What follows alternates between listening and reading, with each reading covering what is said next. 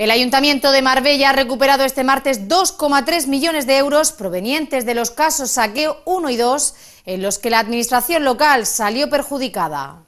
El Ayuntamiento de Marbella recupera 2,3 millones para el municipio de los casos saqueo 1 y 2, según ha informado la alcaldesa Ángeles Muñoz, que ha viajado a Madrid para formalizar en la Audiencia Nacional la recepción de estos fondos que se hará efectiva esta misma semana. Muñoz ha destacado que este nuevo hito es fruto de la labor que llevan impulsando desde el principio para recobrar lo expoliado a la ciudad por los casos de corrupción. La regidora ha precisado que la audiencia ha realizado varias ejecuciones de bienes embargados en el marco de estos procedimientos y en virtud de las mismas se va a hacer efectivo los más de 2 millones de euros que se sumarán a los 12 millones que recibieron de la Audiencia Provincial de Málaga más todos los bienes que van a formar parte del patrimonio municipal del suelo y que en total suman más de 30 millones de euros.